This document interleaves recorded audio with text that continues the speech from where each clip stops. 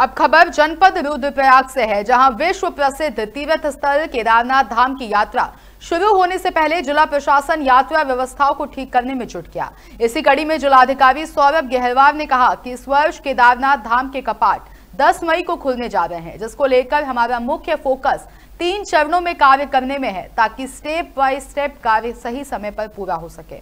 यात्रियों को किसी प्रकार से असुविधा ना हो, रुद्रप्रयाग से सत्यपाल नेगी की रिपोर्ट।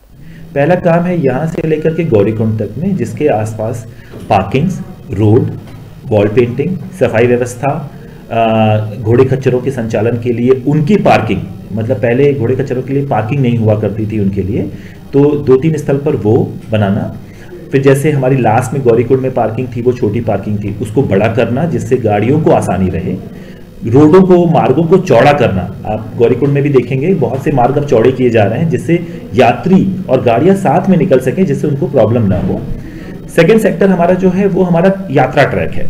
तो यात्रा ट्रैक पर जो सारी व्यवस्थाएँ की जा रही जिसमें दुकान आवंटन, हमारे सफ़ाई व्यवस्था, हमारे टेंट की आवंटन, वो सब किए जा रहे हैं, वो भी अलग कार्यक्रम है।